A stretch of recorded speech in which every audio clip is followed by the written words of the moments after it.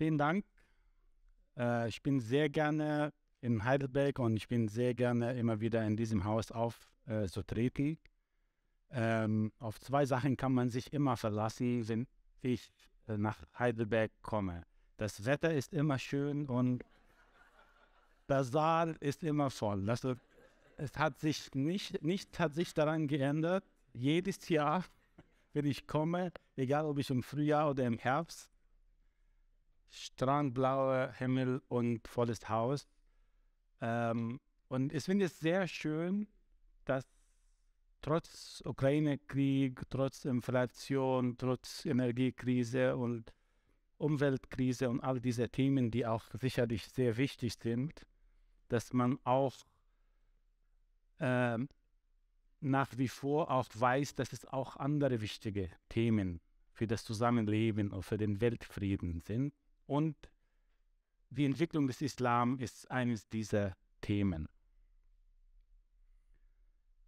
Es war ein sehr ambitioniertes Projekt für mich, die Geschichte des Islam von Mohammed bis heute zu erzählen und das in einer Sprache zu tun, die für jeden zugänglich ist, so dass man nicht ein Vorwissen haben muss, um die gesamte Geschichte des Islam zu verstehen. Das ist keine leichte Aufgabe. Also viel, viel leichter ist es vielleicht 20 Bänder zu machen in akademischer Sprache, so dass man nach 20 Minuten sagt, ach, ich will diese Geschichte nicht, von dieser Geschichte nichts erfahren, das ist mir zu kompliziert. Das zu vereinfachen ist, äh, ist wirklich die schwierige Arbeit, äh, die mir sehr viel Zeit und Energie gekostet hatte und natürlich sehr viel äh, Forschung und sehr viel Spracharbeit. Ähm, wenn ich ein Buch schreibe, die Geschichte beginnt immer damit, dass ich ein paar Fragen habe, die ich mir selbst stelle und ich will eine befriedigende Antwort auf diese Frage bekommen. Die erste Frage, die sich in diesem Buch stellt, ist, wie ist der Islam wirklich entstanden? Und wer war Mohammed? Was wissen wir historisch gesichert? Relativ wenig. Deshalb musste ich die Geschichte des Islam eigentlich rekonstruieren und dabei nicht auf islamische Quellen, aber auch auf byzantinische Quellen, aus, auf syrische Quellen, teilweise armenische und koptische Quellen, damit man so diesen Puzzle zusammenstellen kann.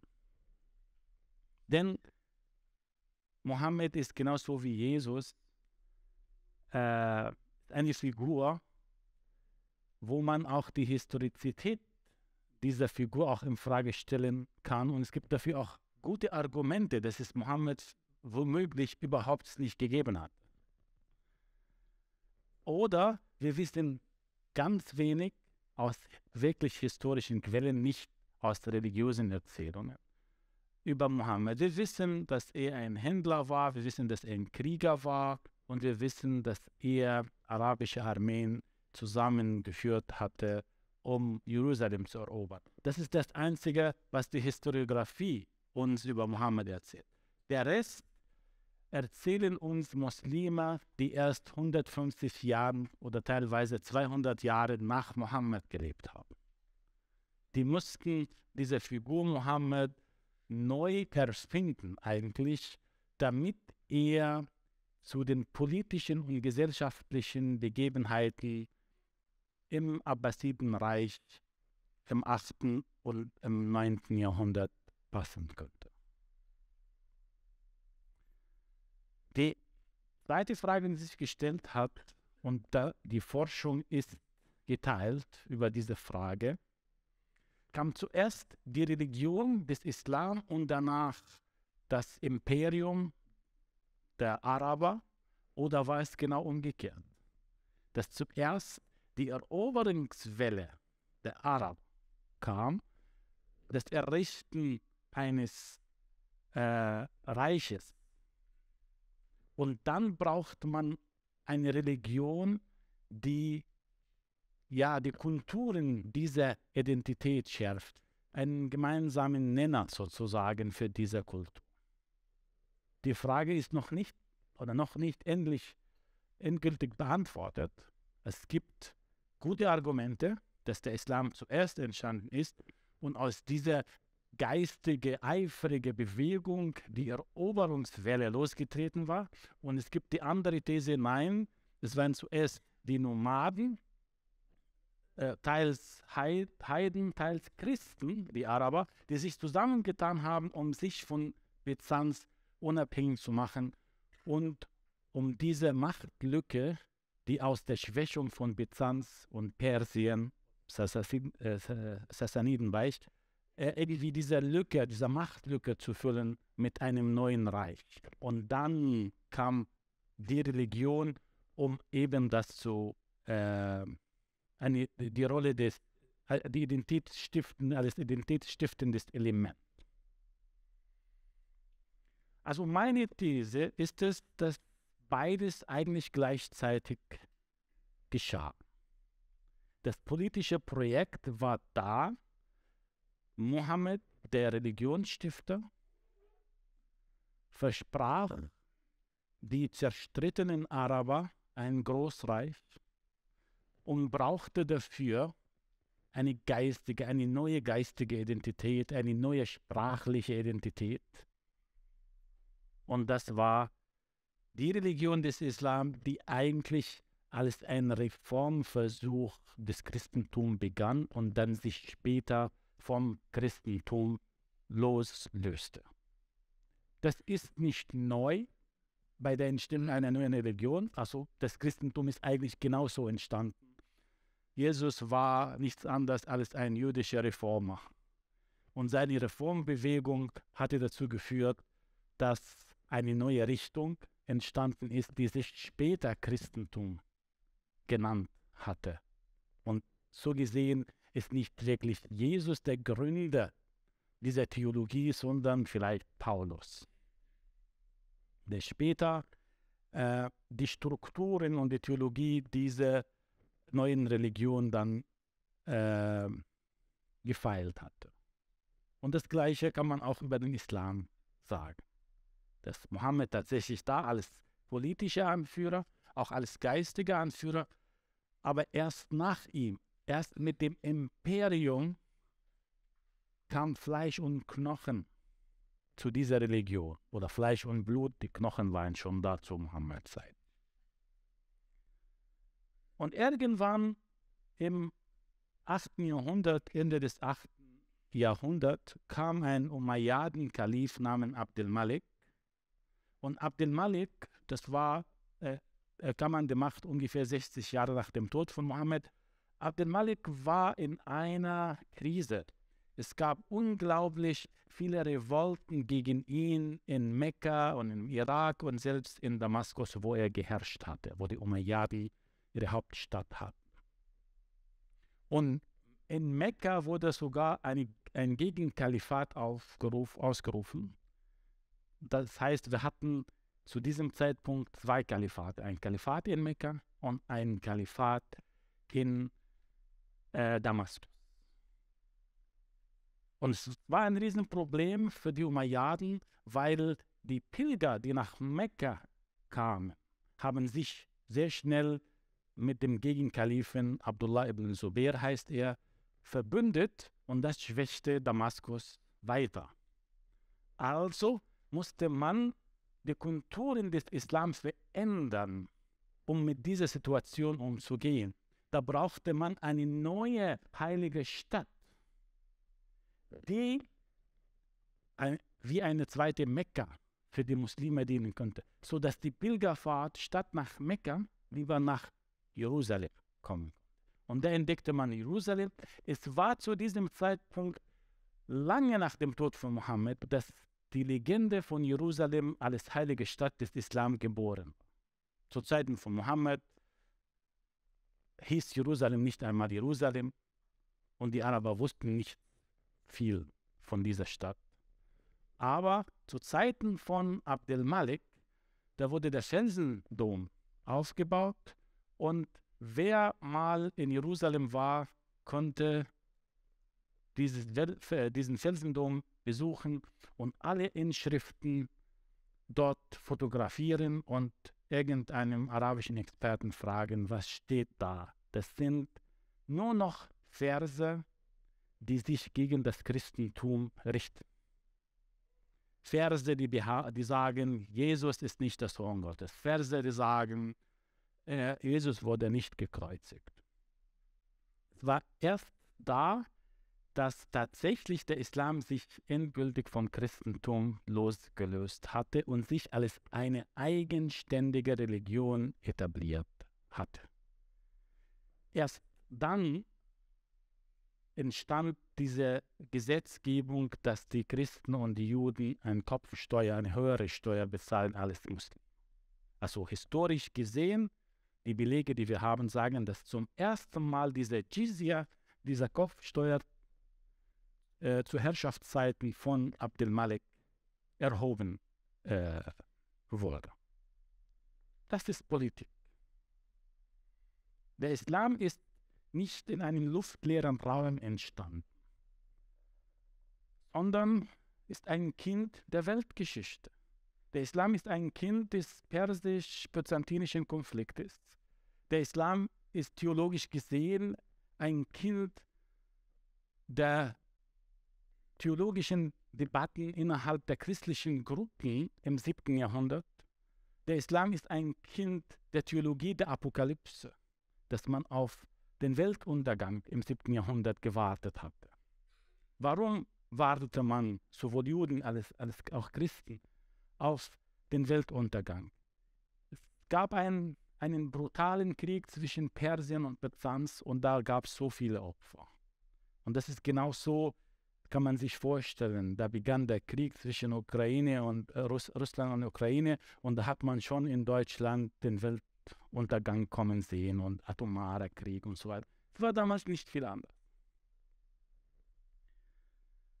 Äh, die Juden waren unter dem Byzantinischen Reich sehr unterdrückt und sie warteten schon auf den Messias, auf den jüdischen Messias. Und die Christen warteten auch auf die Rückkehr des christlichen äh, Messias. Und der Islam ist genau mitten dieser Debatten diese Ängste, diese apokalyptischen Stimmung gebo geboren und ist, deshalb gibt es so viele Verse im Koran, die von der Apokalypse äh, sprechen und den Weltuntergang herbei äh, beschwören. Der Isla Islam ist aber auch ein Kind der arabischen Wüste und der Bedürfnisse der arabischen Wüste. Es gab nicht die Araber als eine Einheit vor Mohammed. Es gab unterschiedliche arabische Stämmen im südlichen des arabischen Halbinsel, in der Mitte und im Norden. Die nördlichen Araber waren zivilisierter, hatten mehr Umgang mit Byzanz gehabt. Es gab auch Araber, die sich eher mit dem persischen Reich verbundet haben und die waren auch teilweise sesshaft. Und es gab die Beduinen, die in der Mitte Arabiens gelebt haben. Und es gab eine unglaubliche wirtschaftliche Katastrophe für die Araber, die schon eigentlich mit dem äh, 6. Jahrhundert angefangen hatte und sich auch auf den äh, 7. Jahrhundert ausgedehnt hatte. Es gab eine unglaubliche Dürre im Süden Arabiens, also im Bereich Jemen. Und viele junge Araber mussten in den Norden emigrieren. Das ist etwas, was man nicht immer bedenkt, wenn man über die Entstehung einer neuen Religion nachdenkt, dass es auch existenzielle, wirtschaftliche und soziale Gründe dafür gibt. Es geht nicht nur um Theologie und Ideen.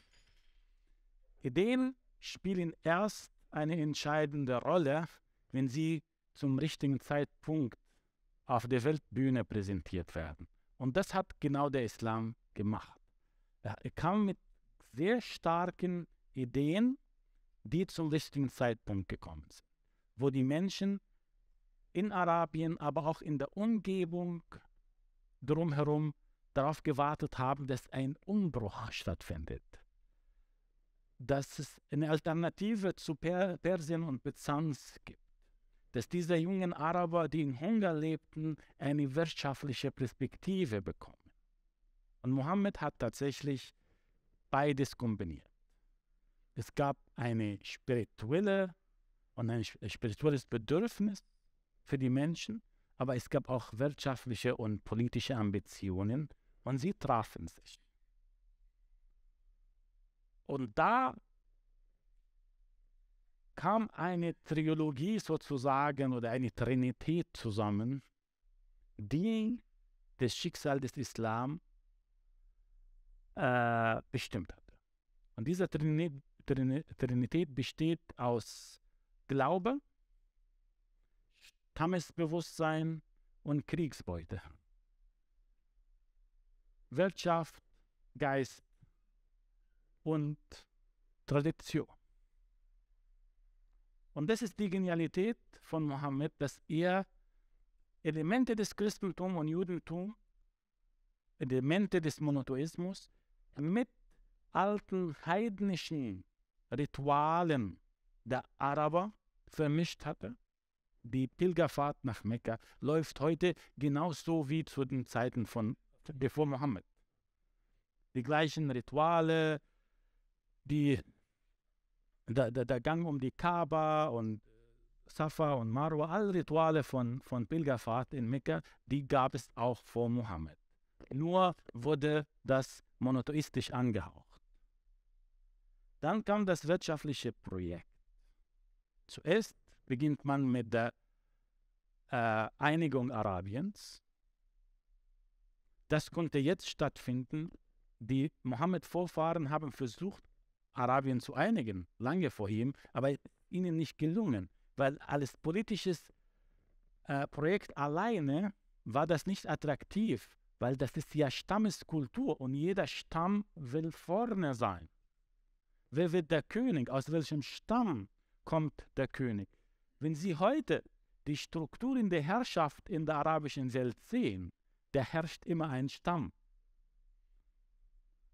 die, die, die, die Al-Saud, die Saudis in Saudi-Arabien, Al-Sani in Katar, äh, de, de, in, in, in uh, Jordanien, die Hashemiten, in Marokko, die Alawi-Dynastie, äh, und in Kuwait, Al-Sabah, also in jedem arabischen Land, außer ein paar äh, Länder, aber vor allem auf der arabischen Halbinsel, beherrscht ein Stamm, der die Macht an sich gerissen hatte, auch im Namen des Islam. Und das war damals zu Zeiten von Mohammed attraktiv, denn Mohammed hat den Leuten nicht nur versprochen, Arabien zu einigen, sondern auch aus den Arabern ein Weltreich zu machen. Und er begann sein Projekt auch mit Razzien und Kriegsführung gegen die arabischen Stämme, die nicht auf der, äh, Stämme, die nicht auf seiner Seite waren. Und das war sehr lukrativ für die anderen Stämme, die auf seiner Seite waren. Es gab wahnsinnig viel Kriegsbeute und man hat gesehen, Mohammed ist das siegreiche Pferd auf der arabischen Halbinsel und wir müssen auf seiner Seite stehen. Mohammed predigte in Mekka 13 Jahre lang und hatte nach 13 Jahren nur 100 bis 150 Anhänger, nichts mehr. Aber als er nach Medina ausgewandert war und eine Armee gegründet hat und sich mit starken arabischen Stimmen, kriegerischen Stimmen verbündet hatte und seine ersten Kriegszüge angefangen hatte und die erste Kriegsbeute oder erbeutet hatte, da plötzlich kamen Tausende aus allen Ecken der arabischen Insel und haben äh, sich seinem Projekt, seiner Armee angeschlossen und es war ein Schneeball, der immer größer wurde. Und deshalb war es nicht, waren es nicht allein die Ideen oder die geistige Kraft, sondern die Kombination von starken Ideen und einem wirtschaftlichen und politischen Projekt ist. Das ist das, was der Islam zu dieser schnellen Ausbreitung am Anfang verholfen hat. Aber der Islam konnte sich nicht von seinen tribalen Strukturen lösen. sehr bald haben sich zwei einflussreiche Stämme gegeneinander gekämpft, um die Deutungshoheit über den Islam, aber auch um die Herrschaft eigentlich über die Welt zu erlangen. Der Stamm der Umayyaden und der Stamm der Hashemiten. Die Hashemiten ist der Stamm, aus dem Mohammed selbst stammte. Und die Umayyaden, das waren die reichen Händler in Mekka, die eine sehr gute, starke Verbindung zu Byzanz, zum römischen Reich hatten, die auch Ambitionen hatten, einen Reich zu errichten, der wie das römische Reich ist. Am Anfang gewannen schon die Umayyaden und haben die Herrschaft erlangt.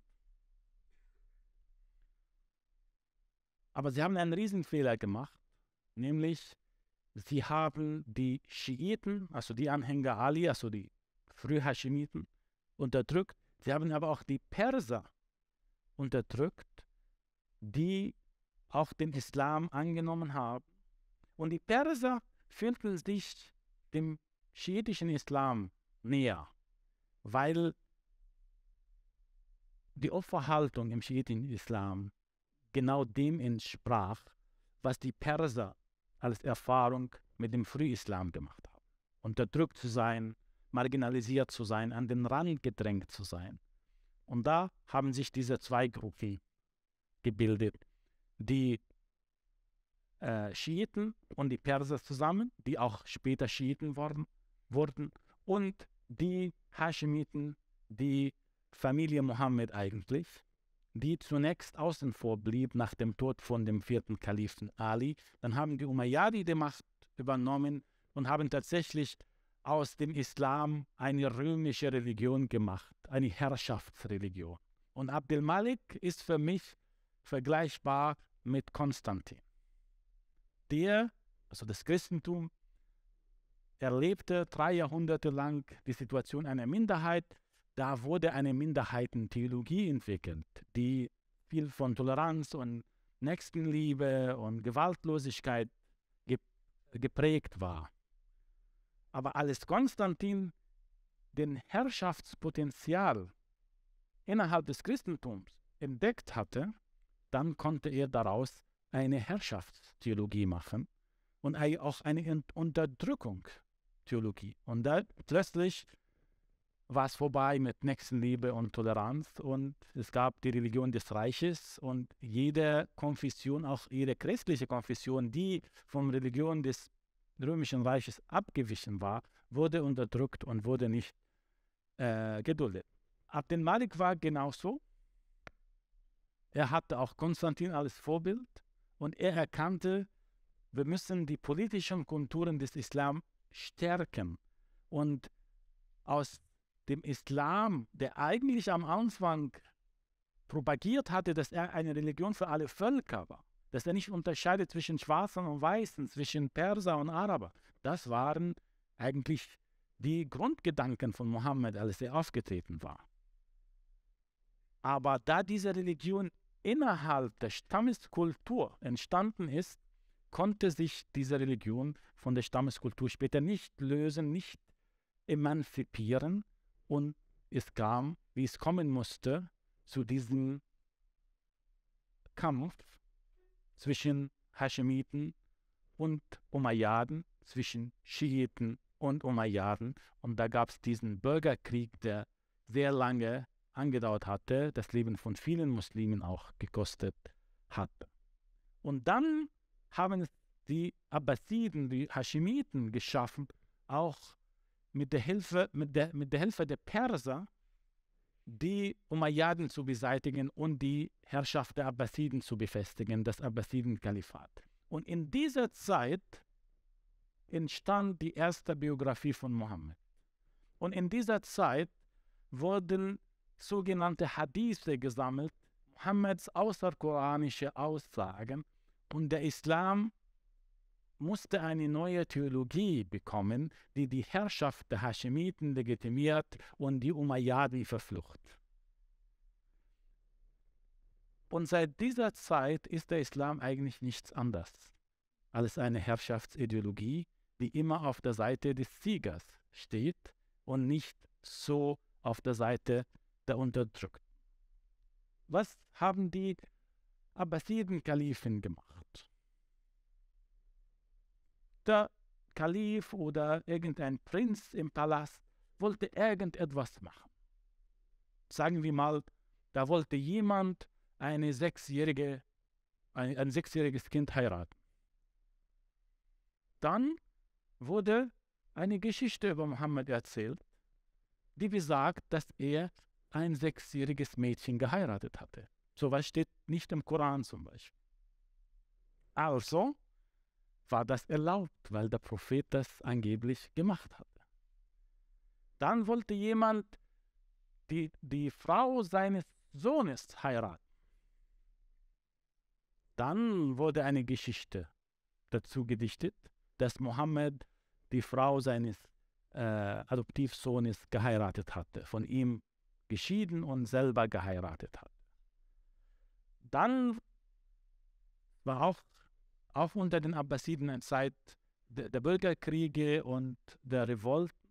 Da wollte der Herrscher eine Theologie entwickeln, die die Revolution, Revolten, Aufstände verbietet.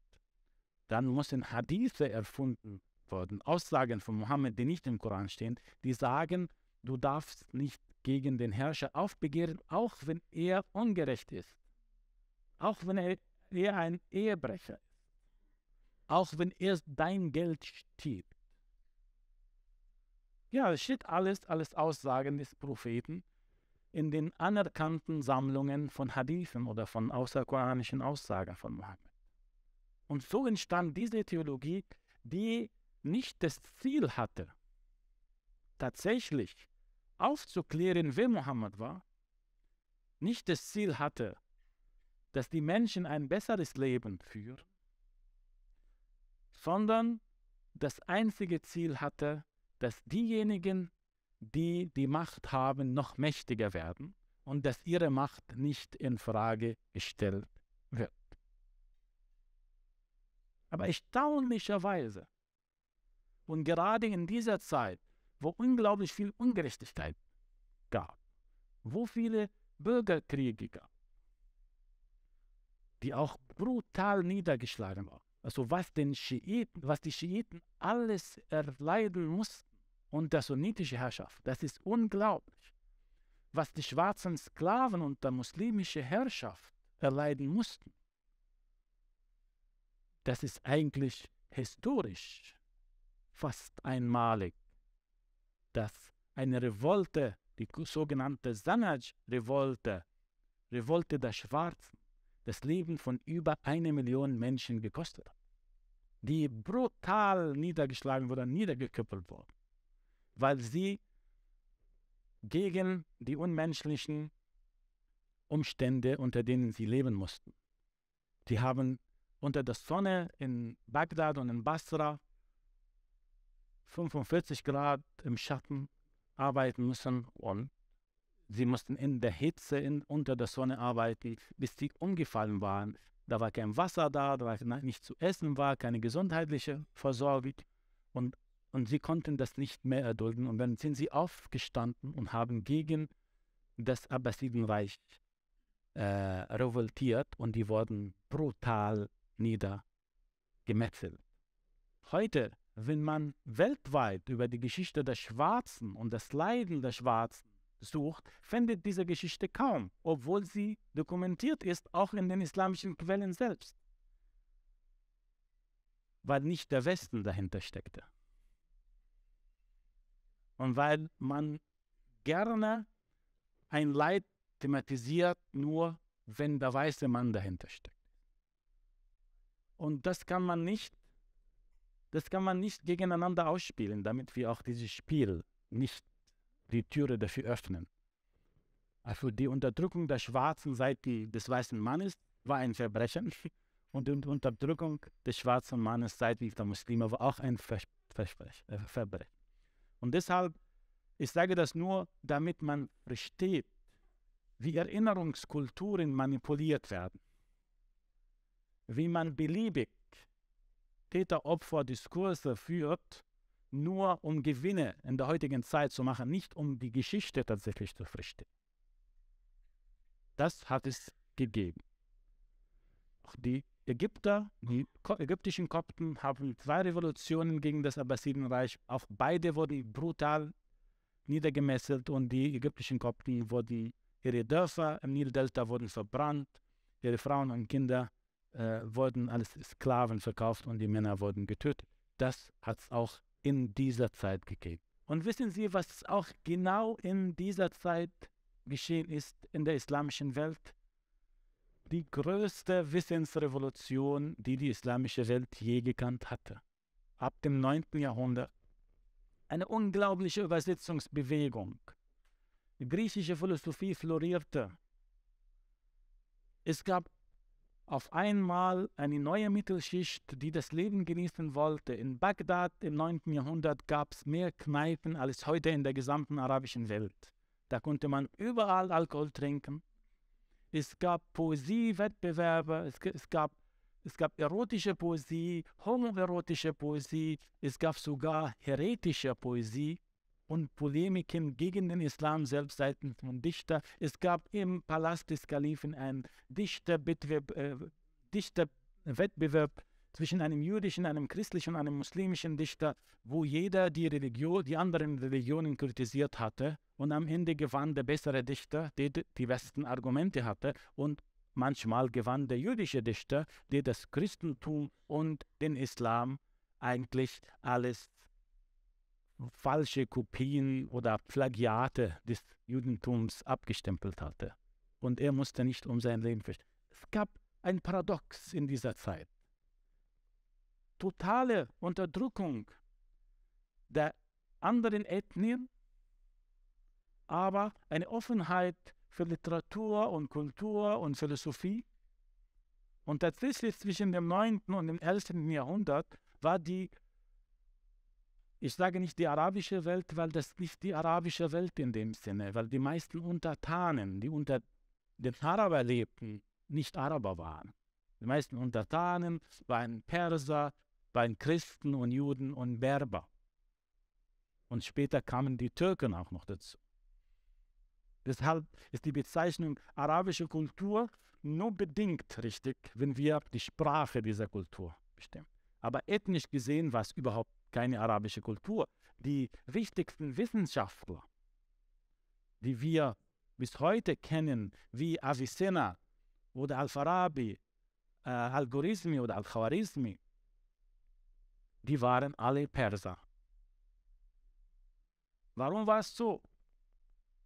Weil die Perser trotz ständiger Kampf mit Byzanz vor dem Islam etwas sehr Geschicktes gemacht haben. Sie haben eine Akademie gegründet und die nannten das Akademie von Gundi Sapur oder Gundi Shapur. Die Perser können meine Aussprache korrigieren, die hier anwesend sind. Und in dieser Akademie von Gundi Shapur haben die Perser Flüchtlinge aus dem römischen Reich empfangen, die Griechisch und Persisch konnten. Das waren die syrischen Christen. Und diese haben angefangen, die Werke der Philosophie und der Mathematik und vor allem der Medizin aus dem Griechischen zu übersetzen. Und das hat eine Wissensrevolution in Persien schon ausgelöst, kurz bevor der Islam Persien und Byzanz erobert hat. Und als die Araber Persien und Byzanz besiegt hatten, haben sie diesen Schatz an Wissen gefunden und haben daraus und haben das weiterentwickelt, haben weiter übersetzt ins Arabische dann. Und da entstand diese äh, Zivilisation, die tatsächlich in Medizin und Philosophie weit überlegen war, wenn man das mit Europa des Mittelalters äh, vergleicht. Aber dann kommt die These, das war der Islam, der diese Wissensrevolution ausgelöst hatte. Und das ist nicht meine These.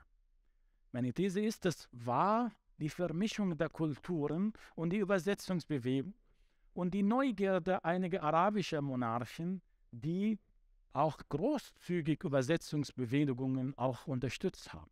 Es war nicht der Islam als eine Religion. Sonst wäre diese Bewegung in Mekka oder in Medina entstanden, nicht in Bagdad. Warum in Bagdad? Das, ist, das war früher Persien. Und das war die Stadt, wo die, die eine Art Mischkrug der Nationen war. Diese Vermischung von Perser, Juden, Christen, Araber, Berber und später Türken kamen auch dazu. Diese Vermischung, das ist das, was Alexander der Große damals in der Levante gemacht hat. Dieser Mischkrug der Nationen, der eine, eine Hochkultur zustande gebracht hatte. Damals in der Levante, da kamen auch Perser, Griechen und Phönizier zusammen und da, da, da haben sie in der Levante, da braute sich etwas zusammen. Und das ist das, was damals äh, in den persisch-arabisch-islamischen Gebieten entstand. Ich vergleiche die Situation damals mit den Golfstaaten von heute. Herrscher, die viel Geld haben, die neugierig sind, die in Konkurrenz zueinander stehen, die große Türme bauen und jeder schaut, wer den größten hat oder den längsten.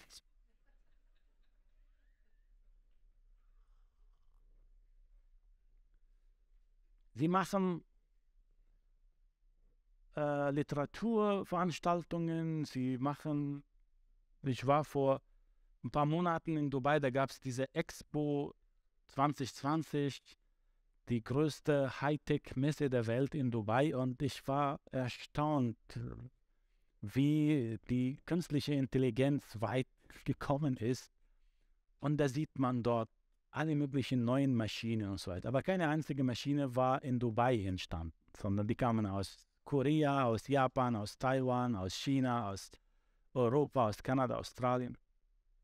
Sie waren Gastgeber dieser Zivilisation, aber man kann nicht sagen, die Emirate ist dem Rest der Welt überlegen, was Technologie angeht. Die waren gute Gastgeber für diese Veranstaltung. Und die Araber im Mittelalter waren, eine, waren gute Gastgeber einer Hochkultur, die eigentlich von Perser, Juden, Christen und Berber und Araber zusammen zustande gebracht wurde. Und deshalb ist es nicht fair gegenüber den Persern und den Juden und Christen, die unter arabischer Herrschaft damals gelebt haben, zu sagen, das war eine arabisch-islamische Kultur. So entsteht Kultur auch nicht. Und mir geht es gar nicht um die Urheberschaft oder Urheberrechte dieser Kultur. Denn keine, keine Kultur entsteht aus sich alleine heraus. Wo hatten die Griechen ihr Wissen her? Sie haben das von den alten Ägyptern. Und wo haben die alten Ägypter ihr Wissen her? Von den Sumerern. So entsteht Wissen. Das ist die Evolution des Wissens. Das Wissen erkennt die Grenzen der Kulturen nicht, sondern wandert und sucht sich neue Wege. Und wo das Wissen gute Gastgeber findet, da gedeiht das Wissen, entwickelt sich. Und die Araber, zusammen mit den Persern und den anderen Völkern unter arabischer Herrschaft, haben tatsächlich eine, äh, diesem, diese Wissensrevolution Schub ge gegeben. Und dadurch kam, kamen auch diese Übersetzungen an, nach Europa.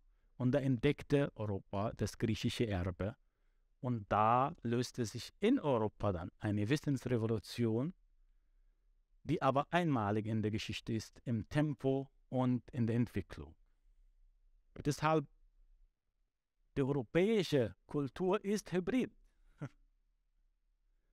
Genauso wie die arabische Kultur hybrid war, so wie die ägyptische, so wie die griechische. Es geht nicht darum zu sagen, wir haben diese Kultur zustande gebracht oder die anderen haben damit nichts zu tun. Es geht darum zu verstehen, dass es eine menschliche Kultur ist, die eine Evolution erlebt und irgendwann kam es zum Klick in der islamischen Kultur, dass man gesagt hatte, das ist alles unislamisch. Alkohol trinken überall in Kneipen, der Tanz, die Musik, die erotische äh, Poesie, die blasphemische Poesie, das wollen wir gar nicht. Das ist unislamisch. Das war der Anfang vom Ende dieser Zivilisation. Diese Zivilisation ist nicht zugrunde gegangen, weil die Mongolen im 13. Jahrhundert die islamische Welt angegriffen hat. Die ist nicht zugrunde gegangen, weil die Kreuzritter im 11. Jahrhundert die islamische Welt angegriffen hat. Diese Kultur ist zugrunde gegangen, weil diese Kultur sich von innen versetzt hatte. Und weil diese Kultur auf die Grundlagen einer Kultur verzichtet hatte zugunsten der Religion. Weil man gesagt hatte, alles Wissen befindet sich im Koran und außer des Korans alles teuflisch, unislamisch. Und Gott kann uns nicht segnen, wenn wir so weitermachen. Wir müssen uns von der Philosophie und von der Chemie und von der Mathematik und von dieser Medizin lösen und wir sollten uns auf unsere Religion besinnen. Das ist das, was die arabisch-islamische Welt in die Isolation hineinkatapultiert hat. Und das ist nicht nur einmal in der Geschichte passiert, sondern das wiederholt sich immer und immer wieder. Irgendwann, nach dem Einfall der Mongolen, war die Zeit der Araber vorbei. Und da gab es zwei neue Mächte, die das Schicksal der islamischen Welt bestimmt haben. Die Türken und die Mongolen. Die Türken, die Mongolen kamen bis nach Indien, haben Königreiche errichtet und die Türken, das wissen die Europäer mittlerweile auch, haben ein großes Reich errichtet und waren irgendwann zahlenmäßig und auch von der militärischen Ausrüstung her viel stärker als die meisten europäischen Mächte. Und sie kamen bekanntlich bis vor den, Tür, äh, den Türen von Wien,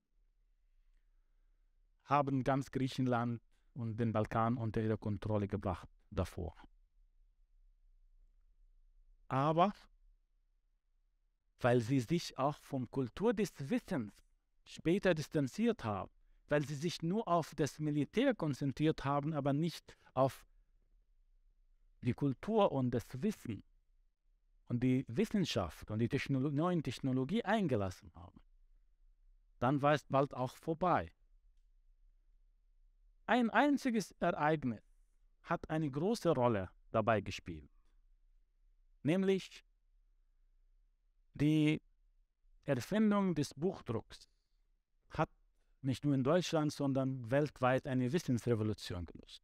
Weil der Buchdruck hat zu einer Privatisierung des Wissens geführt. Früher durften nur die Adligen und die Kirchen das Monopol über das Wissen haben. Latein war die Sprache des Wissens und die meisten Leute haben kein Latein gesprochen. Aber mit dem Buchdruck, mit der Übersetzung der Bibel ins Deutsche durch Martin Luther. Durch die Verbreitung dieser Bibelschriften, aber später auch philosophischen Schriften. Da fand das Wissen eine größere Verbreitung. Früher musste was mühsam die Kopie eines Buches herzustellen, die mit der Hand geschrieben wurde. Aber mit dem Buchdruck, da konnte man sehr viele Bücher, sehr viele Kopien erstellen und in die Welt hineinschicken. Als diese Erfindung kam, hat der Großmufti im Osmanischen Reich den, Buchdruck, den Buchdruck als Teufelsmaschine abgelehnt. Ja, man hatte Angst, dass durch den Buchdruck, den Buchdruck äh, falsche Auslagen des Koran in Umlauf gebracht werden. Man hatte Angst, dass die Gelehrten die Kontrolle über den Koran, über den Islam, über die Deutung des Koran verlieren. Und da hat man ein zweites Mal in der Geschichte des Islam zugunsten der Religion auf Kosten des Wissens eine Fehlentscheidung getroffen. Und so blieb die islamische Welt fast 400 Jahre lang verschont vom Buchdruck und damit isoliert. Man wusste nicht, was in der Welt passiert.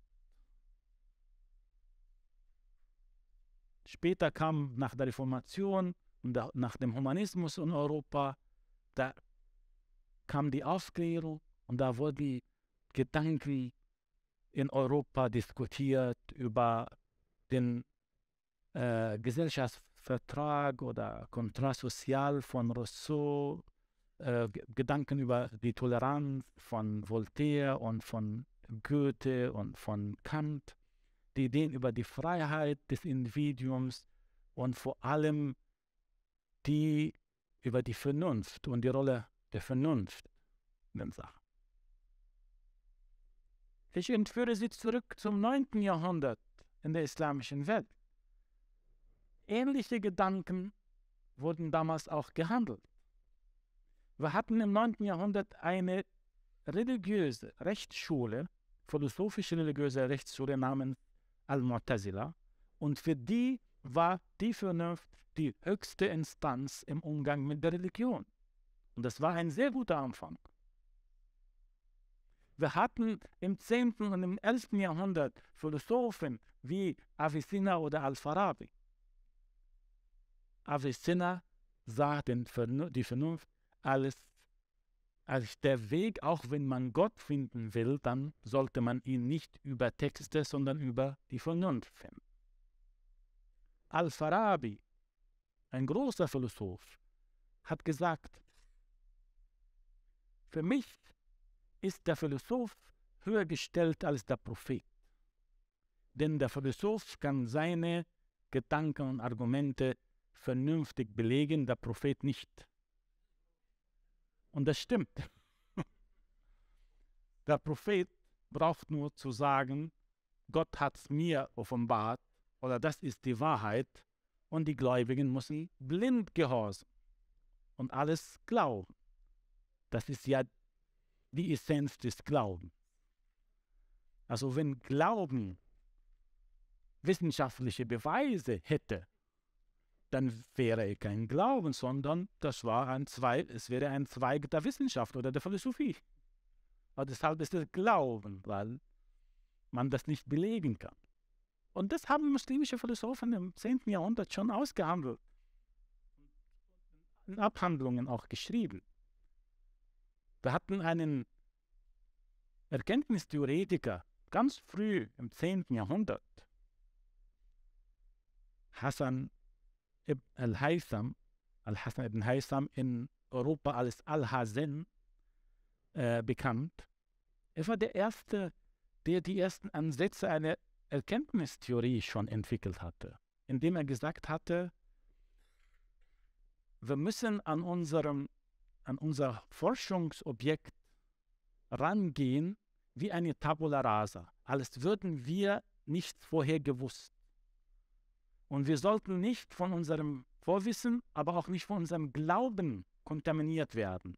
Wir müssen urteilsfrei oder vorurteilsfrei mit unserem Forschungsobjekt umgehen und wir sollten nicht glauben, was die Alten uns erzählt haben, sondern durch Experimente, durch Vernunft, durch Logik zur Erkenntnis kommen.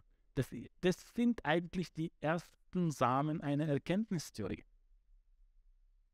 Aber all das hatte keine Bewegung Aufklärung in der islamischen Welt zustande gebracht. Es waren kleine Rennsäle, die in der Wüste vereinsamt liefen und sich nie zusammengetroffen haben zu einem Strom namens Aufklärung.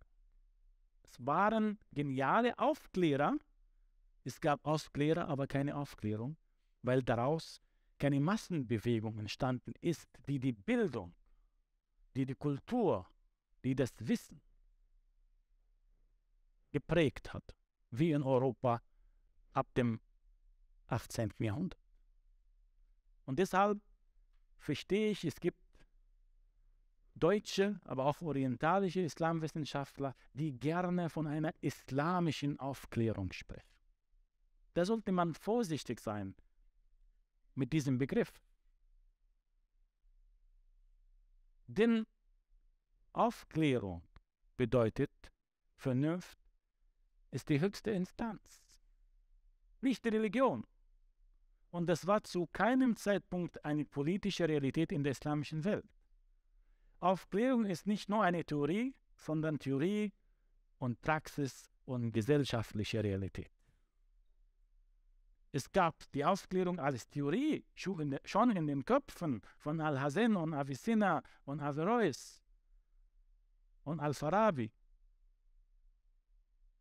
und viele, viele andere, Al-Kindi. Ich kann sehr lange, eine sehr lange Liste für Sie dann hier errichten von guten Philosophen. Aber sie haben es nicht geschafft, eine Bewegung namens Aufklärung durchzusetzen. Sie blieben Einzelkämpfer. Und das Gleiche ist auch im 19. Jahrhundert passiert. Es gab viele Figuren in Ägypten, in der Türkei, in Iran, in Maghreb. Sie haben in Europa studiert, vor allem in Paris, kamen zurück mit wunderbaren Gedanken. Aber sie fanden da keinen fruchtbaren Boden, weil die Menschen vom Aberglaube schon verseucht waren.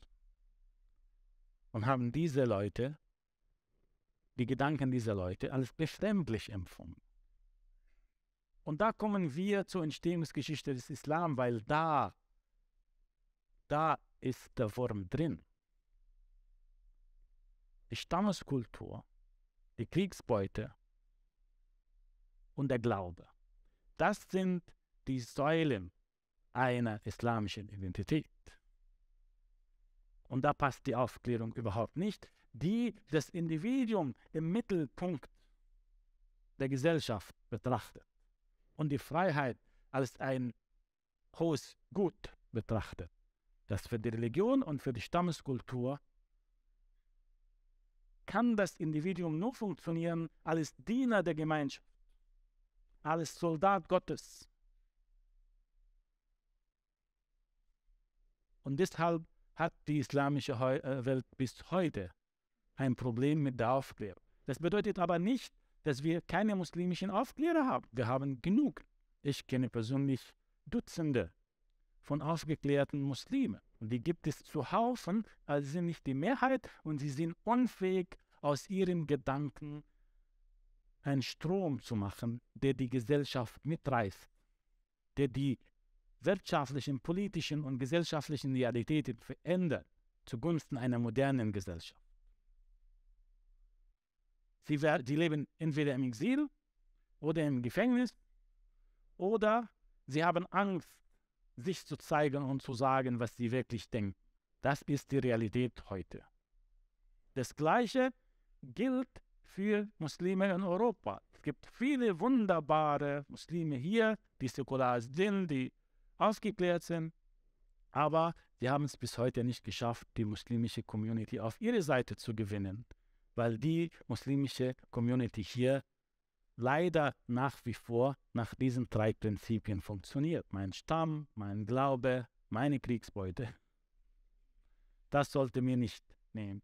Wir werden in elf Tagen Wahlen in der Türkei haben. Diese Wahlen sind so knapp, dass es ja in jeder Seite umkippen könnte.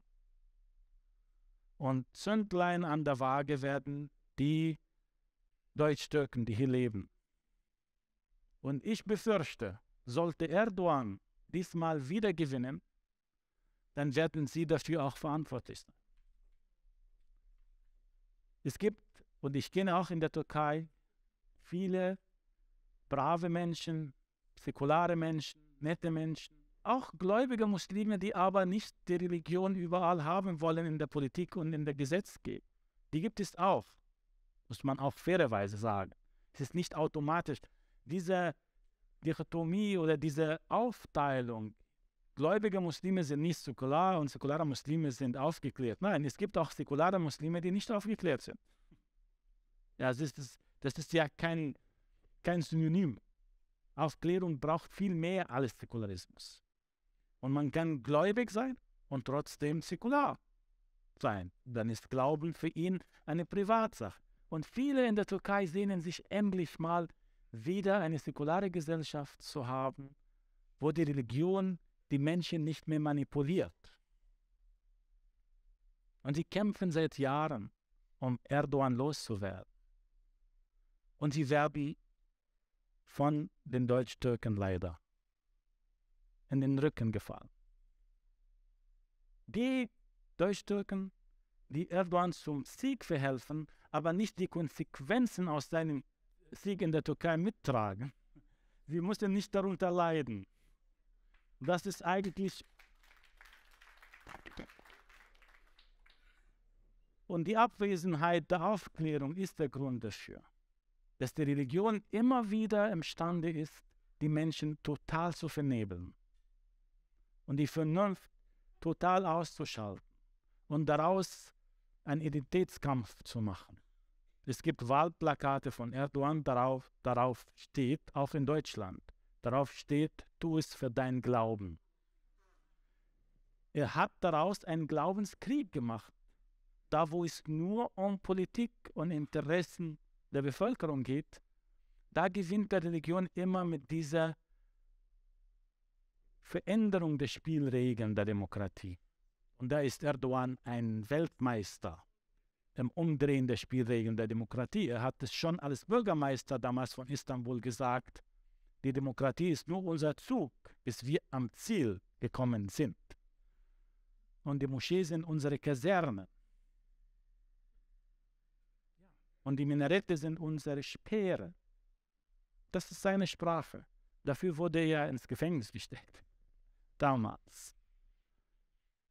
Aber die naiven deutschen Islamwissenschaftler haben ihn damals bejubelt als ein moderner Islamist, als Brückenbauer zwischen der Europa und der islamischen Welt.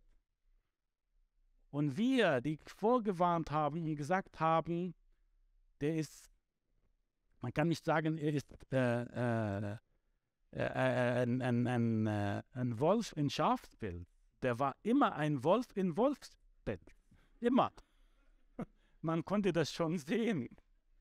Er musste es nicht mal einmal vertuschen. Aber da wurden wir als Rassisten damals bezeichnet. Und die anderen, da waren die Multikulti, da waren die Toleranten. Und da wurde die türkische Community in Deutschland innerhalb von 15 Jahren total manipuliert. Ich lebe in Deutschland seit 28 Jahren. Als ich angekommen war, da waren die Türken für mich Vorbild. Es waren säkular, auch diejenigen, die gläubig waren, die haben das in, in, in der Moschee praktiziert, aber danach waren sie ganz normale Menschen und die Religion war kein Thema an Schulen, in Sportclubs, Gerichtssälen und so weiter. Religion war Privatsache für sie. Aber dann kam Erdogan und hat auch ein Potenzial entdeckt. Diese Deutsch-Türken brauche ich, um Druck auf Deutschland auszuüben. Und das hat er mit Bravour gemacht. Und dann plötzlich war die Religion Hauptidentitätsmerkmal von den Leuten. Und zwar überall. So entsteht keine Aufklärung. So modernisiert sich die Community nicht so bleibt die Minderheit immer eine Minderheit, die immer von Paranoia lebt. Dass die anderen irgendwie mit uns etwas vormachen. Sie wollen unsere Identität unterwandern, sie wollen uns vereinnahmen. Und Erdogan spielt genau mit den gleichen drei Prinzipien, die den Islam damals verheißen haben. Stammesbewusstsein, die türkische Identität, Nationalismus und der Glaube und die Kriegsbeute. Eines Tages wird Erdogan die Türken helfen, den Türken helfen, das Osmanische Reich wiederherzustellen und Europa zeigen, wo die Grenzen sind. Das ist ein, ein sehr attraktives Traum für einen jungen Türken, der hier ein armseliges Leben führt, der sucht Arbeit, findet keins, er spricht nicht so gut Deutsch.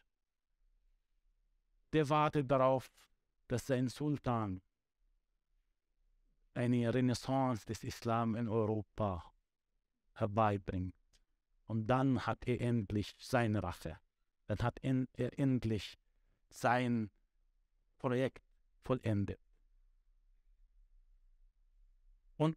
Jede fehlgeleitete Modernisierung in der islamischen Welt ging nach dem gleichen Muster.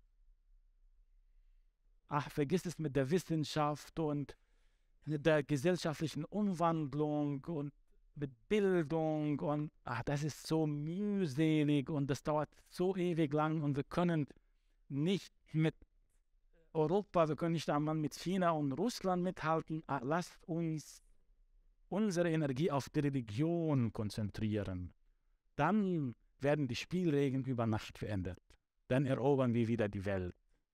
So entstehen Terroristen. So entstehen Fundamentalisten, die sich weigern, am modernen Leben teilzunehmen. Und deshalb habe ich auch dieses Buch geschrieben, um die ganze Geschichte von Anfang bis zu Ende zu erzählen. Ich habe das Buch nicht nur auf Deutsch geschrieben, sondern auch auf Arabisch. Das Buch auf Arabisch war ein Riesenerfolg in Ägypten, war Bestseller auf der Kairoer Buchmesse. Und junge Menschen verschlingen das Buch und lesen zum ersten Mal eine Geschichte aus einer total anderen Perspektive und begreifen die Machtstrukturen, die mit der Religion von Anfang an und bis heute nach dem gleichen Muster abläuft. Und seit, da schreiben mir sehr viele, jetzt habe ich endlich begriffen, wo das Problem liegt und warum sich das immer wieder wiederholt.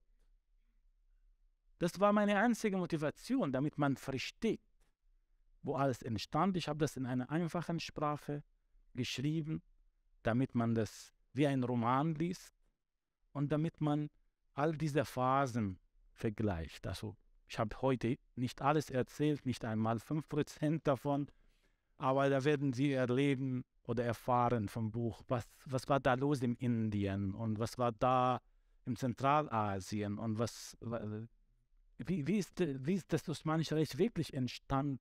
Das war genau nach dem gleichen Prinzip von Stamm, Kriegsbeute und Glaube. Die ersten Osmanen waren nicht gläubige Muslime wirklich.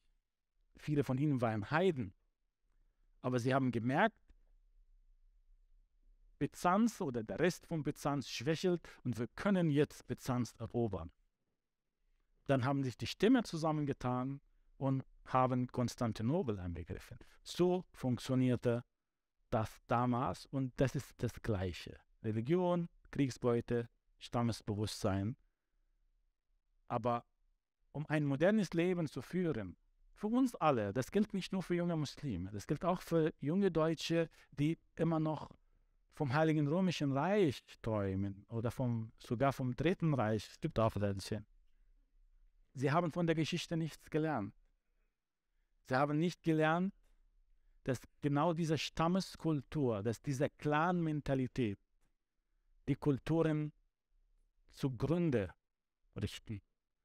Sie haben nicht verstanden, dass diejenigen, die am lautesten Heimat schreien, die am lautesten schreien, dass sie ihre Heimat retten wollen, dass sie genau diese Heimat erwürgen, dass sie genau diese Heimat diesen Potenzial wegnehmen für eine moderne Gesellschaft. Die deutsche Politik ist mit dem Islam überfordert. Man weiß nicht, was man tun sollte. Und man glaubt, gibt den Muslimen, was sie wollen, dann haben wir Frieden in dieser Gesellschaft. Sie wollen Moscheen bauen, lass die Moscheen bauen. Sie wollen Islamunterricht an Schulen, gib ihnen Islamunterricht an Schulen. Man weiß mittlerweile, was man Muslimen anbieten kann, aber man weiß nicht mehr, was man von ihnen verlangen darf. Und das ist das Hauptproblem der Integration. Es gibt Angebote, aber es gibt keine Gebote. Aber diejenigen, die mit Glaube, Stammesbewusstsein und Kriegsbeute arbeiten, lachen sich ins Fäustchen und bauen ihre Machtstrukturen hier im Namen der Toleranz und der Freiheit und der Multikulturalität, um eben später diese Freiheit, diese Toleranz und diese Multikulturalität zu beenden, wenn sie mal an der Macht kommen. Das ist ihr Ziel.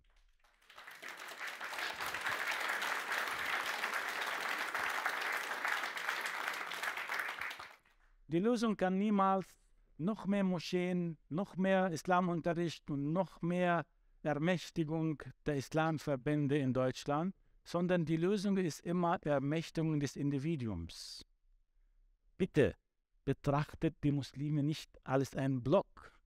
Die sind so divers, so heterogen. Und sie sind Individuen. Sie, hab, sie haben ganz andere Bedürfnisse, als man denkt. Sie brauchen gute Bildung, gute Arbeit, Sie brauchen nicht mehr diskriminiert zu werden wegen ihren, äh, äh, ihres Namens. Sie wollen, dass die Türen geöffnet werden, damit sie Teil dieser Gesellschaft werden. Sie wollen nicht dafür die ganze Zeit gehänselt werden, weil sie Türken sind oder Muslime sind und so weiter und so fort. Das sind die Mehrheit der hier lebenden Muslime. Aber man konzentriert sich auf die starken Gruppen, die vom Ausland gelenkt werden und denkt, das sind die Muslime in Deutschland. Und man ermächtigt sie noch mehr, man bietet ihnen, man wertet sie politisch auf und hofft, dass sie dadurch die Integration weiterbringen können. Aber Erdogan-Anhänger haben kein Interesse daran, dass die hier lebenden Deutsch-Türken in Deutschland integriert sind. Im Gegenteil, sie leben von der Lücke und von Misstrauen gegenüber der deutschen Gesellschaft. Und sie, sie,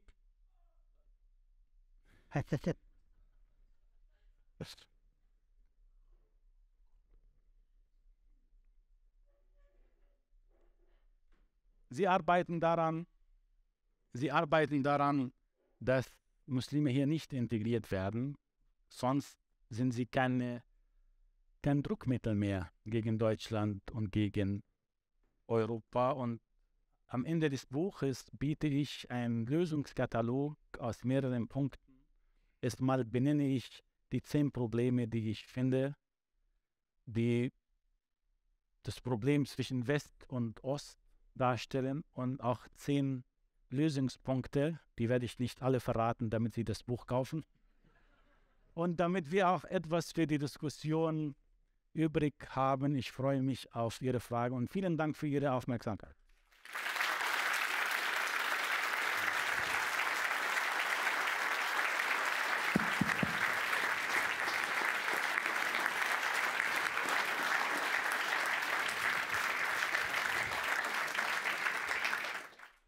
Sie haben es gehört, nur 5% von dem Buch haben Sie gehört. Äh, die 95% warten da drüben. Äh, aber wenn Sie noch Motivation brauchen, nicht gleich zu dem Buch zu rennen, dürfen Sie jetzt fragen. Ich hätte gerne eine Frage. Mein Name ist Katanek, Volker Katanek. Und zwar, äh, Sie sprechen für Religion in erster Linie vom Islam. Inwieweit könnte man das Wort Religion auch durch Ideologie ersetzen? Denn äh, für mich ist Ideologie und Religion eins, egal welche Religion, egal welche Ideologie. Äh, es ist nichts beweisbar, hat nichts mit Wissenschaft zu tun. Und in allen sind sich ja Religion und Ideologien einig, der Zweck heiligt die Mittel. Und da sehe ich eine ganz große Gefahr. Ja, da gehe ich mit Ihnen natürlich. Ähm, also jede Religion beinhaltet auch eine Ideologie und je nachdem, wie das Sendungsbewusstsein, das Sendungsbewusstsein dieser Religion ist und die politischen Ziele dieser Religion ist. Äh, das Christentum war im Mittelalter sicherlich stärker ideolog ideologisch ausgestellt als heute und sie verzichtete das Christentum verzichtete nicht auf die Ideologie freiwillig, sondern wurde von der Aufklärung gedrängt, diese politischen Machtstrukturen aufzugeben und aus der Position der politischen Schwäche heraus wurde eine neue Position in der Gesellschaft ausgehandelt. Und so muss man es machen mit allen Religionen, allen Ideologien auch. Ähm, es gibt politische Ideologien, Also es, es gibt eine Evolution der Ideologien sozusagen. Äh, Im 20. Jahrhundert, da spielte Religion nicht mehr so eine große Rolle wie jetzt. Damals haben die politischen Ideologien diese Identitätskämpfe getragen. Da wurden diese ideologischen Kämpfe politisch ausgetragen. Da, war, da waren dann die, die Linken und die Konservativen, da waren die Blocks, da war dann der Westen und der Warschauer Pakt. Und da war der Kalte Krieg, hat das auch ausgeladen. Und dann, als dieser Konflikt nicht mehr genug war, um identitätsstiftend zu werden, da, da kam so eine esoterische Welle. Erinnern Sie sich, also die Yogamatten und so weiter und die Esoterik-Seminare damals. Und dann irgendwann war das auch nicht mehr beglückend oder nicht für die Massen zumindest. Da, da war auch ein Yogakurs irgendwann auch zu teuer. Und dann kehrte man zurück zu den konfliktbeladenen Ideologien und Identitäten. Und das ist nicht mehr nur so, hier ist Christentum und hier Islam und so weiter. Na, da gibt es auch noch Mikroidentitäten, die entstanden sind. Die Hautfarbe spielt wieder eine Rolle. Wir dachten, es ist vorbei. Also da alle Menschen sind gleich, egal welche Hautfarbe. Aber da kommt man jetzt auch mit seiner Hautfarbe und will auch, ich habe diese Hautfarbe, jetzt habe ich einen Anspruch. Die Migration hat früher nach dem Prinzip äh, wurde, wurde gestaltet und deshalb war Migration in der Vergangenheit sehr erfolgreich. Da kam man nach Amerika und dann hatte man alle Chancen eigentlich offen und man hat damals gesagt, okay, du bist neu bei uns, zeig mir, was du kannst dann kann ich vermessen, wie weit du es in dieser Gesellschaft schaffen kannst. Also dein Bemühen und Abmühen entscheidet dein Schicksal. Heute ist es nicht mehr der Fall. Heute kommen die Migranten und wir sagen an der Pforte, zeig mir deine Wunden und deine historischen Verletzungen und ich vermesse, wie viel davon du von mir entlohnt wirst. Und ich entscheide, wie viel deine Wunden kosten. Das nennt man heute Identitätspolitik. Das nennt man heute teilweise auch Antirassismus oder Rassismus bekämpfen. Das nennt man Cancel Culture. So kann das Zusammenleben nicht funktionieren. Und die Religion spielt genau eine große Rolle. Da will ich wieder Religion zur Identität machen nicht nur zu einer spirituellen, versteckten Identität, nein, die Sichtbarkeit der Hautfarbe, die Sichtbarkeit der religiösen Symbole, beten gemeinsam auf dem Times Square in New York und im Englischen Garten in München, da muss man sehen, dass wir viele sind, dass wir beten, dass wir unseren Glauben ernst nehmen. Und da verändert sich. Gebet sollte eigentlich etwas Besinnliches sein, so wo man sich versteckt, wo man Demut zeigt im Gebet. Nein, Gebet ist jetzt ein Zeichen des Stolzes. Ich zeige euch, wie viele wir sind. Ich zeige euch, wie sehr ich meine Religion ernst nehme und du nicht. Und das, dann sehen die Rechten natürlich die Muslime, die jetzt in den Parks oder im Times Square beten und sagen, wir müssen auch unsere Identität wieder sichtbar machen. Wo ist die Bockflöte? wir gehen, müssen wieder in die Kirche gehen oder, oder mindestens eine Ideologie entwickeln, die auch so eine Heilsideologie wie der Islam ist. Und dann schaukeln sie sich gegenseitig hoch. Es ist keine Frage nur von dieser Religion oder dieser Religion, sondern es ist eine Niederlage des Menschen, des Individuums, der sich ziehen lässt oder das sich ziehen lässt in diesen ideologischen Kämpfen, wo er nicht das Sagen hat. Der ist nur Kanonenfutter. Der denkt, dass er seine Identität verteidigt. Dabei weiß er gar nicht, welche Identität er verteidigt. Dabei ist er manipuliert und wird nur genutzt. Und da sehe ich das Hauptproblem von diesen von diesem ideologischen Aspekt äh, der Religion. Hallo, mein Name ist Zainab. Ähm, Sie haben beschrieben, ähm, wie die islamische Welt im 8. Jahrhundert Alkohol, ähm, sexuelle Poesie und so weiter völlig normal gesehen hat. Mich würde interessieren, warum und wie wurde die islamische Welt so prüde? Ali Gandur zum Beispiel beschreibt in seinem Buch und stellt die These auf, dass ähm, die islamische Welt so prüde wurde, weil der Westen sozusagen äh, prüde Verhaltensweisen in, den, in die islamische Welt exportiert hat. Wie beurteilen Sie diese These? Was denken Sie dazu? Das ist wieder eine, äh, diese These, also ich schätze Ali Gandur sehr und ich kenne sein Buch. Aber diese These, immer den Westen für alles verantwortlich zu machen, was für Scheiße wir gebaut haben, das finde ich, entschuldigen Sie.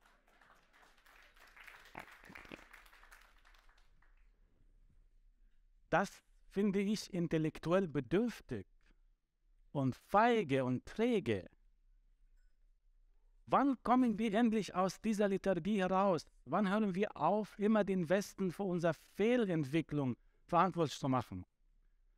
Die islamische Welt hat auch den Westen kolonialisiert.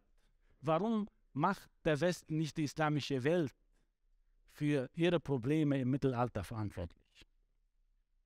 Wie konnte Europa sich lösen? Die Araber waren bis Andalusien und kurz vor Paris standen sie. Sie waren in Sizilien, in Malta. Die Türken waren kurz vor Wien. Das war auch Kolonialismus. Das war auch eine Art äh, Repression der Kulturen. Wa warum denken wir, dass alles, was schiefgelaufen ist, dass der Westen dafür verantwortlich ist? Das ist genau das, warum äh, die Aufklärung ausgeblieben in der islamischen Welt. Weil die Selbstverantwortung fehlt und die Selbstkritik fehlt. Weil man immer nach einem Sündenbock, Sündenbock im Außen wie im Innen sucht. Der Kolonialismus hat viel Schaden angerichtet in der islamischen Welt, gar keine Frage. Aber den, der Kolonialismus kam auch mit vielen Chancen. Wir kannten die moderne Bildung nicht, als die Franzosen nach Ägypten kamen mit Napoleon damals. Wir kannten die Gerichte nicht mit einem Rechtsanwalt und mit, äh, mit Verteidigung und mit mehreren Instanzen der Justiz. Das kam alles mit, mit den Kolonialherren. Es waren die Franzosen, die für uns Ägypter damals unsere alten pharaonische Sprache entziffert haben. Wir kannten unsere eigene Geschichte nicht. Das erste Buch, das Ägypten beschrieben hatte, geografisch und historisch und gesellschaftlich, war ein französisches Buch. Bildung, die modernen Schulen, die moderne Medizin, all das kam mit der Kolonialherrschaft. Ich relativiere nicht das Leid, das durch den Kolonialismus verursacht wurde.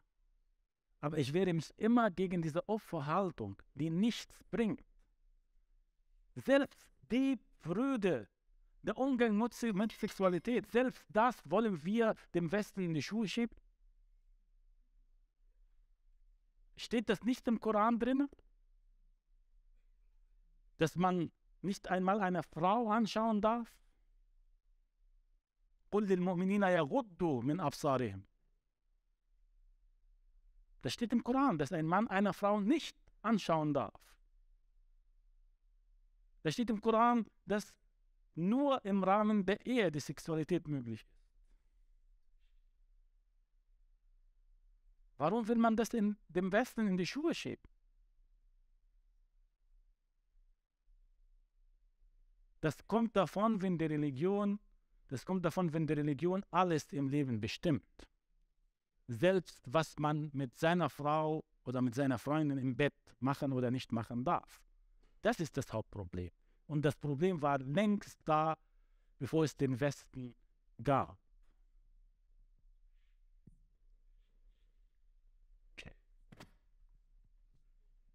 Ich hätte zwar zehn Fragen, ich bin der Norbert aus Waldorf, ich mache aber nur eine. Und zwar, Sie sind, habe ich nochmal hier gelesen, Mitglied der Deutschen Islamkonferenz. Inwiefern gewesen? Okay, trotzdem, äh, wie erfolgreich ist die? Ja. Was geht dort ab?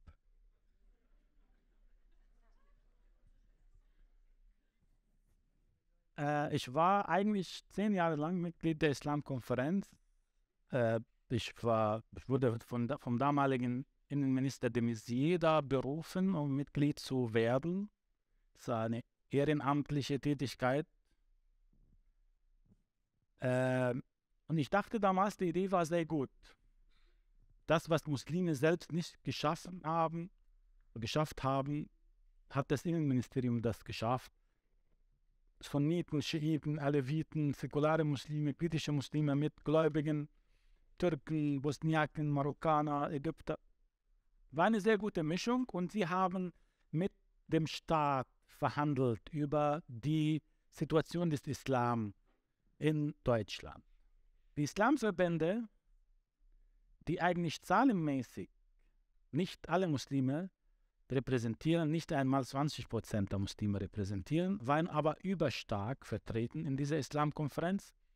Und ich und andere kritischen Stimmen in der Islamkonferenz haben Themen eingebracht, die für uns wichtig sind. Gleichberechtigung von Mann und Frau, die Radikalisierung von jungen Muslimen in der Fremde. Was machen die Islamverbände, um sowas zu unterbinden, zum Beispiel? Äh, wir haben auch über den Antisemitismus unter äh, muslimischen Jugendlichen gesprochen. Aber die Islamverbände haben alle Themen, die wir eingebracht haben, abgelehnt und gesagt, das hat mit dem Islam nichts zu tun. Wir wollen hier über Islamunterricht, über Imamausbildung, äh, um über Seelsorgevereine, über muslimische Krankenhäuser, also alle Projekte, die Geld vom Staat, Fördergelder fließen lassen. Und am Ende, als ich gemerkt habe, dass wir, die kritischen Stimmen, nur zu Zierde in der Islamkonferenz. Da wollte ich nicht mehr diese Rolle des Feigenblattes spielen. Und äh, da bin ich zurückgetreten, dann vor zwei Jahren. Äh, die Politik hat den Fehler gemacht, die Islamverbände, wie ich gesagt habe, politisch aufzuwerten, überstark zu machen und die sind jetzt Partner des Staates. Viele junge Muslime denken, sie können nur Karriere machen, indem sie Mitglieder dieser Verbände werden, weil da werden die Posten verteilt. Äh, und das finde ich äh, ein Riesenfehler der Politik. Und dieser Fehler wurde nicht aufgehoben. Eigentlich, da ist sehr viel Zahnpasta aus der Tube rausgedrückt worden und die kann man nicht rückgängig machen. Also ich habe dieses ich habe dieses Bild benutzt, um nicht das heftigere Bild zu benutzen, Metapher. Da ist so viel Scheiße in der Toilette rausgedrückt worden und die kann man nicht zurück in den Darm bauen. Okay. Mein Name ist Joachim Halder-Lundbeck. Ich bin hier in Heidelberg berufstätig als Krankenhausapotheker. Ich mache aber auch öffentliche arbeite in öffentlichen Apotheken, habe sehr viel mit Muslimen zu tun. Ich habe auch äh, Arbeit in Mannheim, Lutzenberg, Man Neckarstadt West und diese Problembezirke. Also ich habe da ein bisschen Hintergrund. Der erste Punkt, was man klipp und klar sagen muss zu einer Genesung, ist, dass man erst einmal in unserer Gesellschaft die Wahrheit sagen darf. Ja? und dass nicht alles durch politische Korrektheit niedergekleistert wird und sofort in irgendeine Ecke. Denn die Wahrheit, eine Bestandsaufnahme, ist erst einmal die ganz große Grundlage. Und das Zweite ist, man braucht Identität. Amerikas Aufstieg ist nur möglich, weil sie einerseits eine Identität haben, andererseits aber offen sind. Und so müssen wir es eigentlich auch machen. Wir müssen wieder zu unserer Identität finden, aber nicht ähm, unter Ausschluss der anderen, sondern durch Einschluss der anderen. Und jeder Apotheker weiß, wenn ich in eine Salbengrundlage was Fremdes einarbeiten will, brauche ich Zeit, ich brauche Energie, ja, und ich brauche eine gute Grundlage. Wenn die nicht da ist, wird Integration niemals gelingen. Ja? Genau. Also es ist sehr schön und wichtig, dass Sie dieses Thema angesprochen äh, haben. Tatsächlich beginnt mein Buch genau mit dieser Thematik, die Verengung des Diskursraums, dass man nicht mehr wirklich imstande ist, eine Diagnose zu erstellen, eine Analyse zu machen, ohne von allen Seiten angeschrien zu werden. Die Nazi-Keule kommt sehr schnell, der, Vorwurf, der Vorwurf des Rassismus. Und äh, wir befinden uns mitten in einem ideologischen Kampf, der von rechts wie von links geführt wird und die Wahrheitsfindung badet in der Mitte sozusagen oder geht baden in der Mitte. Und das äh, finde ich sehr bedenklich, denn eine Kultur kann sich nur entwickeln, wenn der Diskursraum offen ist und wenn wir viele Vermittlungsräume haben, wo man einfach seine Meinung sagen kann, aber wirklich bitte eine Meinung und nicht eine Beleidigung oder eine Schmähung oder eine äh, Hetze oder Hass erfüllt. Und das ist genau richtig, was die gesagt haben. Man soll sich seine Be Identität bewusst sein, aber es ist eine Identität, die aufnehmen kann, nicht eine Identität, die darauf eingerichtet ist, sich selbst zu definieren, indem sie sich immer von anderen ab- und ausgrenzt. Ja, hallo Äh, Herr Abdelsamit. Mein Name ist Lavan, ich komme aus Rojava. Ich bin 2016 hier in Deutschland und studiere mo äh, momentan Politikwissenschaften in Mannheim. Sie haben so viele Sachen angesprochen halt, also vor allem die sagen Integration oder wie auch immer halt, oder das mit Stimmen und so weiter. Ähm, meine Idee, also meine Gedanke halt so, dass beispielsweise das nach der Zerfall des Osmanischen Reich wurden mit Hilfe der Westen halt im Sykes-Picot-Vertrag quasi die Länder in 22 arabische Stämme quasi aufgeteilt halt. Und die Kriege beispielsweise, also die, die, äh, es gibt keine islamische, also gerade ich will auch von einer Ideologie sprechen, nicht von einer islamischen Weltanschauung, die komplette arabische Halbinsel oder Ara äh, Araber und Türken also versammeln halt in einem, ähm, ein, unter einer ähm, Flagge. Die Türken hassen äh, Ägypter, es gibt auch Spannungen, Marokkaner hassen Algerien, Syrer hassen Irak, also dieser Konflikt. Genau. Ähm, oh, sie haben aufgeregt. genau. Also, ähm, das Bezug auf ähm, Politik hier, was die ähm, machen können, halt, also dass, ähm, dass wir alles in Westen ähm, Schuhe also schieben, dass die gemacht haben. Beispielsweise die äh, Politiker hier, die werden also ähm, die, äh, die graue Wölfe, also hier in Deutschland unterstützen halt. Also da, die haben die Moscheen alles von Türkei quasi ähm, finanziert halt. Sie kommen von Türkei. Also wie, wie finden Sie das halt, dass die Politik eigentlich auch von Westen unterstützt halt. Mit Waffen werden mit, Hilfe vom Westen quasi dort äh, produziert und dann in die Ukraine und andere Länder geliefert. Dankeschön. Ja, ja nochmal diese Geschichte mit dem Westen. Der Westen hat so viele Fehler gemacht. Da, da, das ist ein anderer Vortrag. Da, das, ist, das kann man, kann man immer äh, wieder betonen, hat immer die falschen Allianzen. Äh, so man denkt, dass die Geschichte des Westen und des Islamismus, dass der Westen immer gegen den Islamismus war, das stimmt überhaupt nicht. Also äh, der Westen fand den Islamismus immer cool, wenn dieser Islamismus auf der richtigen Seite gekämpft hatte. Also äh, und, und das, das schon lange vor Sykes-Picot und vor dem Ersten Weltkrieg. Das war damals Zeiten von Friedrich dem Großen. Da fand er die Türken damals äh, fast geil, weil sie gegen Russland gekämpft haben. Das war damals im Sinne von, äh, von Friedrich äh, den Großen. Übrigens, da kommt Lessing her. Also Lessing war äh, nicht unbedingt jetzt der große Aufklärer, wie man denkt, sondern hat damals sein Stück gemacht, weil unter Friedrich dem Großen war diese Stimmung pro-türkisch, pro-osmanisch und da kam dieses Stück von Lessing natanderweise kam damals, um, um eigentlich dem Herrscher ein bisschen zu schmeicheln und äh, um, um einen Bestseller zu gelangen. Und das, seine Strategie ist auch damals äh, ausgegangen. Äh, es gab Islamisten, die im Ersten Weltkrieg auf der Seite von Deutschland gekämpft haben und welche, die auf der Seite von Frankreich gekämpft haben, gegenseitig. Also der politische Islam war auch immer einsatzfähig für die Interessen des Westens, das ist gar keine Frage. Aber das entbindet uns nicht von der Selbstverantwortung. Jeder, der die Macht hat, versucht seine Interessen durchzusetzen und jeder, der die Macht hat, ist dankbar für die nützlichen Idioten, die sich instrumentalisieren lassen. Und das ist einfach, damit wir nicht immer nur den Besten werden. Danke. Äh, mein Name ist Michael Teuring aus Freiburg. Ähm, Herr Abdel Samad, Sie haben heute Abend sehr viel gesprochen über die Aufklärung oder die Aufklärer in der islamischen Welt äh, im historischen Kontext.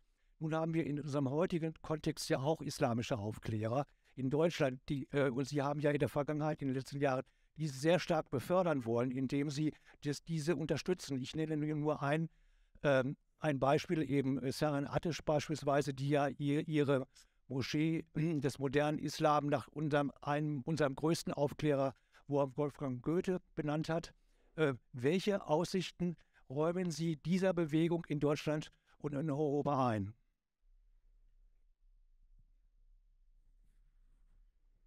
Ich will Sie nicht enttäuschen. Ich gehöre nicht zu den Menschen, die falsche Illusionen verkaufen, damit der Abend irgendwie so besinnlich äh, beendet werden kann.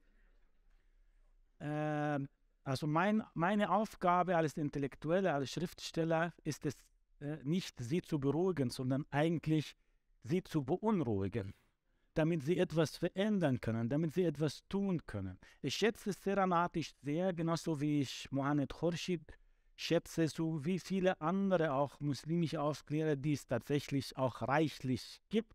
Diese haben aber keine Strukturen, haben kleine Gemeinden, die wie Interessengruppen sind, die nicht wachsen, die auch nicht Muslime wirklich erreichen und auch sie werden deshalb von der Politik vielleicht gelegentlich mit einem schönen Preis ein bisschen gefüttert und ein bisschen ruhig gestellt äh, mit ein paar Lobesworte oder mit Bundesverdienstkreuz vielleicht. Aber die wirklichen Fördergeldern zum Beispiel gehen an die äh, Erdogan-Anhänger und an, an Muslimbrudermann-Organisationen. Äh, und wenn die Unterstützung nicht von, von der deutschen Regierung kommt, dann kommt sie sicherlich aus der Türkei oder aus den Golfstaaten für diesen radikalen Gruppen. Ich muss ehrlich sagen, meine größten Hoffnungen sind nicht in Europa und nicht in Deutschland. Meine größte Hoffnung sind Frauen in der islamischen Welt selbst, die so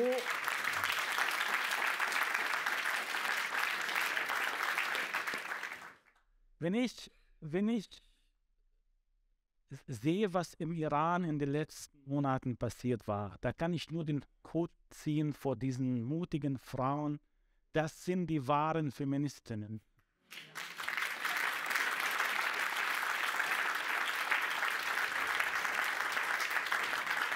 Nicht die hier die ganze Zeit über Gendersprache streiten und als hätten wir kein, gar keine andere. Das sind die Frauen, die sich für die Freiheit der Frau von allen Festen einsetzen. Und da sehe ich mehr Bewegung. Viele junge Menschen in der islamischen Welt, Frauen und junge Männer, sind empfänglich für Kritik. Ich habe vorhin erzählt, dass mein Buch ein Bestseller auf der Kairoer Buchmesse war, auf Arabisch. Und die Menschen lesen das Buch, diskutieren darüber und sind offen. Äh, die marokkanische Zeitung hat über mich geschrieben, ähm, dass ich ein Aufklärer bin und dass meine Gedanken die Jugend zum Erwachen bringen. Also ich meine, das, das ist, die arabische Sprache ist immer so blumig und so weiter. Aber was ich sagen wollte, also im, im libanesischen Fernsehen hat die Moderatorin mir gesagt, wenn wir noch tausend Hamad Abdel Samad hätten, dann würden wir die Probleme der arabischen Welt lösen. Und was bin ich in Deutschland? Man nennt mich Islamhasser. Ja. Das zeigt uns, wo das tatsächliche Problem ist. Da haben wir, die jungen Muslime in der islamischen Welt haben haben mit vielen politischen und wirtschaftlichen Problemen zu kämpfen und sie haben längst begriffen, dass auch die Religion einen Anteil an dieser Misere hat und dass man nicht diesen Anteil verleugnen kann. Sie sehen das in ihrem Alltag. Aber junge Muslime in Deutschland und Europa gönnen sich den Luxus, den Islam nicht als Gegenstand von Kritik oder Erforschung. Der Islam ist ein Gegenstand der Aufbewahrung, der Mystifizierung, der Glorifizierung. Das ist ein großes Problem, dass die Religion in der Fremde, in der Diaspora eine große Rolle für die Identität spielt und dass die Menschen hier emotionaler werden und nicht rational denken. Und der, der, der Zugang zur Aufklärung ist die Rationalität, nicht die Emotionalität. Deshalb habe ich mehr Hoffnung in der arabisch-islamischen Welt, in Iran, teilweise in Indien und Indonesien. Da gibt es dynamische Bewegungen und da ist man offen für meine Kritik. Ich brauche in den Libanon übrigens keinen Polizeischutz. Ich brauche in Dubai keinen Polizeischutz. Ich brauche in, in Marokko keinen Polizeischutz. Aber ich brauche in Berlin und in Paris Polizeischutz. Und das zeigt uns, dass hier etwas grundlegend falsch läuft.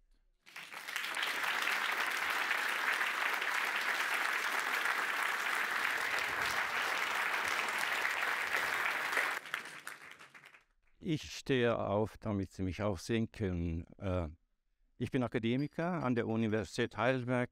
Ich war lange Zeit auch in Frankfurt, habe mitgewirkt an der Etablierung der islamischen Theologie. Dort bin Islam- und Politikwissenschaftler, so wie Sie. Ich danke Ihnen vielmals für den Vortrag, dem ich vieles abgewinnen kann. Ich bin zwar nicht einer Meinung äh, mit Ihnen, wenn es um die Entstehungs- und Offenbarungsgeschichte der Religionen geht. Ich komme aber Ihnen weitgehend mit, wenn Sie versuchen, die Religionsgeschichte oder den Islam, die islamische Kultur zu historisieren. Das braucht die islamische Welt, die Theologie und das versuchen wir ja auch ein Stück weit in der islamischen Theologie in Deutschland. Sie kennen ja die Leute. Ich habe aber zwei Einwände, nicht mit Bezug auf die Geschichte, sondern auf unsere Gegenwart. Und da möchte ich die Massen etwas in Schutz nehmen. Wir haben Was müssen Massen, also die muslimische Community, die sie teilweise zumindest unter den, oder von den Türken als Erdogan-Anhänger in Anführungszeichen abgestempelt haben. Ja, es gibt die. Leider kann ich auch sagen, ich bin auch sehr im Streit mit dieser Community, wobei ich nicht einfach die Schuld diesen Menschen zuschieben möchte, und sie sind nicht einfach Erdogan-Anhänger. Deshalb, weil der Erdogan so ein guter Rhetoriker und ja, überzeugt ist. Das ist natürlich ein Grund. Aber ein anderer wichtiger Grund ist, und das haben Sie auch schon äh, ansatzweise angesprochen, dass Sie auch hier in Deutschland oder in Europa Diskriminierung erleben. Dass diese Diskriminierung Sie zu anderen ja, Utopien oder Heilsversprechungen führt. Das wissen wir, das wollte ich betonen. Und zweitens möchte ich die deutsche Politik etwas in Schutz nehmen, dahingehend, dass sie auch schon durch die verfassungsrechtlichen Rahmenbedingungen gebunden ist. Das wissen sie. Und viele wissen wahrscheinlich auch, dass wir in Deutschland ein Religion- und Verfassungsrecht haben, äh, das besagt, dass eben Religionsgemeinschaften doch eine wichtige Rolle spielen, ihre Position haben, vor allem die Kirchen. Und dass Deutschland Gesprächspartner aus der muslimischen Seite sucht. Und da sind halt die muslimischen Organisationen angesprochen, zwangsläufig. Das ist die verfassungsrechtliche Grundlage. Nicht? Das kennen wir. Also das korporatistische System in Deutschland. Insofern fehlt mir in Ihren Diskussionen ein Stück weit ein ausführlicher Diskurs in säkularen demokratischen Rahmenbedingungen. Islamkritik ja, aber das darf nicht einfach ohne die Reflexion, weitgehende Reflexion mit Bezug auf die demokratischen Strukturen gehen. Ja, und in dieser Hinsicht bin ich zu, mit Habermas unterwegs, dass nämlich in der Demokratie die religiöse Rede auch sich in die Diskussion einmischen kann. Okay. So. Also vielen Dank. Äh, es ist nicht meine Art, die Massen in Schutz zu nehmen, es ist nicht meine Art, die Politik in Schutz zu nehmen. Ähm, ich bin immer auf der anderen Seite der Macht. Also nicht auf der Seite der Macht, sondern jeder Intellektuelle muss eigentlich auf der anderen Seite und kritisch diese Macht kritisch beäugen und zu versuchen, durch diese kritischen Haltungen auch, dass diese Machtstrukturen sich verändern. Sie haben von der verfassungsrechtlichen Grundlage gesprochen. Da haben wir in Deutschland tatsächlich eine verfassungsrechtliche Schieflage und nicht eine verfassungsrechtliche Grundlage. Was ist die Schieflage? Ich erkläre es Ihnen gleich. Ja, warten Sie, Sie wissen ja nicht, was kommt.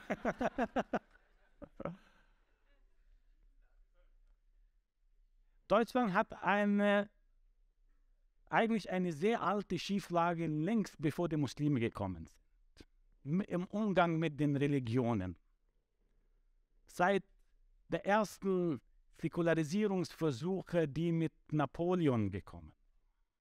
Die Trennung von Religion und Staat, die Enteignung der Kirchen, und so weiter, dann hat man eigentlich diese sogenannte Staatskirchenrecht, das heißt natürlich nicht so offiziell, aber ist medial so bekannt, damit die Leute wissen, worüber wir sprechen. Dieses Staatskirchenrecht räumt den religiösen Gemeinschaften Privilegien ein. Alles eine Entlohnung für die Enteignung der Kirchen von damals und für die Säkularisierung, damit die Kirchen die Säkularisierung mitmachen. Die letzte Bearbeitung und Veränderung dieses Staatskirchenrechts fand unter Hitler statt.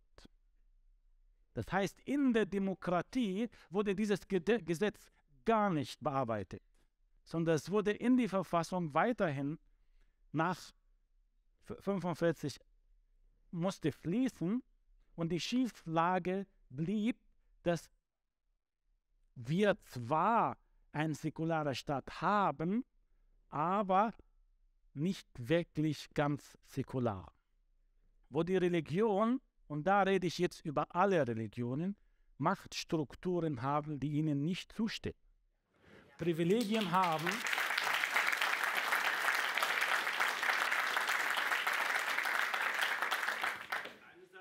Ja, ich, ich, ich mache meinen Gedanken zu Ende, dann können Sie eine Gegenrede machen. Ja. Damit es nicht zu einem Dialog führt, sondern ich erkläre das zu Ende, was Sie da gesagt haben. Dann haben wir eine Situation, wo die Religion sich in Bereichen einmischt, wo sie nicht zu suchen hat. Bereich Bildung, Gesundheitswesen und Seelensorge und Krankenhäuser in den Medien, zum Beispiel im Rundfunksrat, da sitzen die Religionen und Vertreter der Religion und bestimmen, wer eingeladen wird und wer nicht. Und sie werden immer merken, dass religionskritische Menschen, nicht nur islamkritische, sondern insgesamt religionskritische Menschen selten im Fernsehen kommen als religiöse Menschen. Obwohl,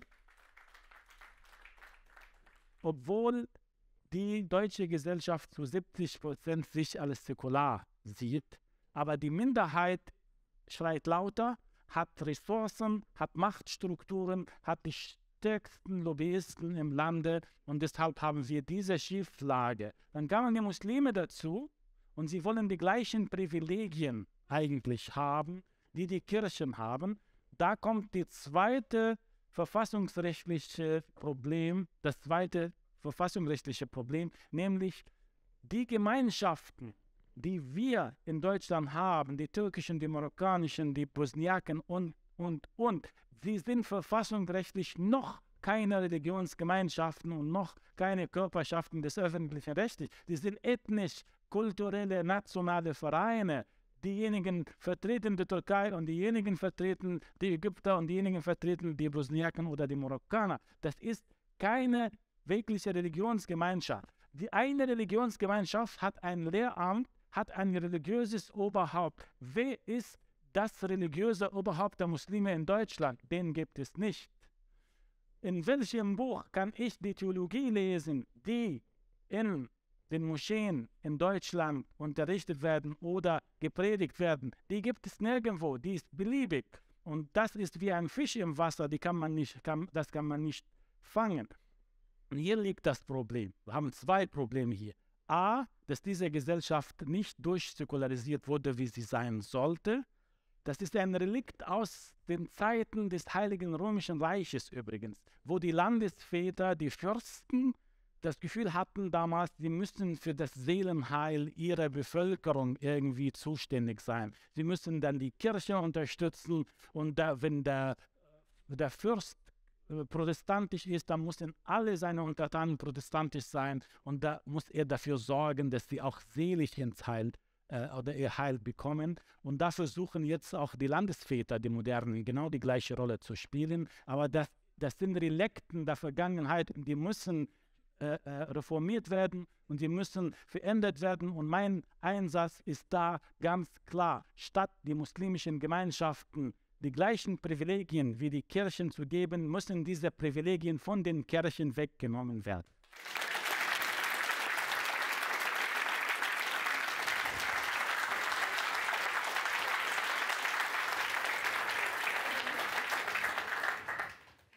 So sieht ein gutes Programm aus, wenn man mindestens 20 Fragen noch nicht ernst aufgreifen konnte, weil er hat es schon gesagt, sie soll ja beunruhigt nach Hause gehen, aber am besten mit einem Buch unterm Arm. Und das können Sie jetzt noch 15 Minuten lang signieren lassen. Danach ist Schluss. Wir müssen gehen. Vielen herzlichen Dank.